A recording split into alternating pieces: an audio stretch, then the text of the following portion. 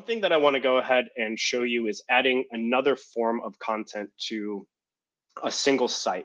Let's say we want to create something like a version, a versioned, uh, well, version of, of our product. Uh, if you have something like version one, version two, or if you have maybe different languages for your product as well, we can do this by adding more content to a, uh, a site.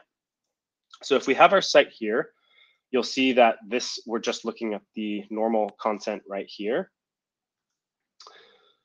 But if we want to add more content, something like more translations, new versions, etc., we can go ahead and do that by, well, once, once we have the space, we'll be able to add it in here. What we're going to start by doing is starting by creating a new space. Uh, and what I'm going to do is actually take us through importing some content that we have somewhere else. But one thing that I wanted to just mention here is this is not published at all. Uh, we can publish this as a new site if we go ahead and create a new doc site and then link up the content here. But what I want to demonstrate is how to use different variants if you have different versions of your content, uh, etc.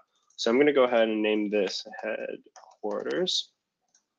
and inside of here, uh, we can head back to our settings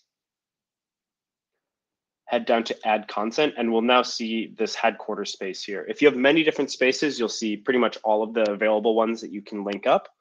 But if I go ahead and add this content here, we'll now see that this headquarters docs are added to this initial site. this might take just a second to update, but let me go ahead and refresh and we'll, we'll see if it's already there. Or the two different pieces of content we can now see in the header so we can take a look at the webinar test content, or we can see headquarters up here and switch between the two uh, just as easily uh, like this. So again, this is really useful if you are working on different things like translations or you're working on different versions. You can be sure that your users will just head to one section here. So, you know, webinar team.gitbook.io, webinar test. But if they want to change to different, you know, translations or different languages, uh, different versions, they can do so just by clicking this in the upper uh, upper header here. And you'll be able to manage everything from a very easy, uh, easy UI right here.